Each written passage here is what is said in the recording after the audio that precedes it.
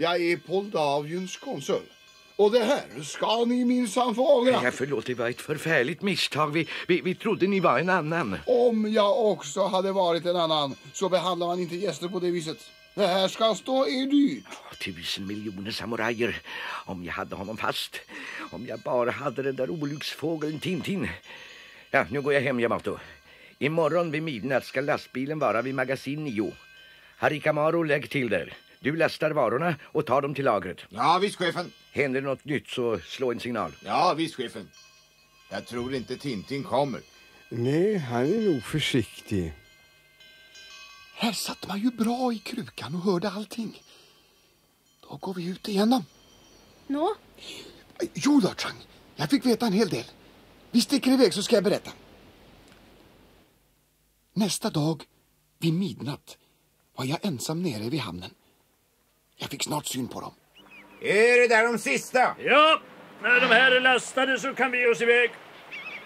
Hittills klaffar ju allting. Om jag nu tömmer en av deras tunnor på opium och kryper i själv så är saken klar. Det där var visst den sista. Ja, då kan vi köra. Det var ett stort misstag att ge sig på mig, Wang. Och nu ska ni dö. Jaså, ni ler bara. Jag har ordnat en värdig död för er. Er egen son ska hugga huvudet av er. Ni själv, er hustru och Tintin ska dö på samma sätt. Hej, där har vi Yamato. Gick allt som det skulle. Ja, då, tunnorna står där på sidan. Kom här, Wang. Den här föreställningen får ni inte missa. Nu ska vi ha roligt. Det är den där tunnan, chefen. Vi har märkt den med ett kryss.